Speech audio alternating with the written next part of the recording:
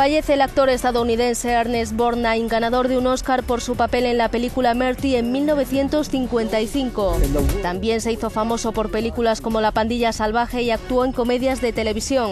Borgnine ha muerto a los 95 años de edad por un fallo renal.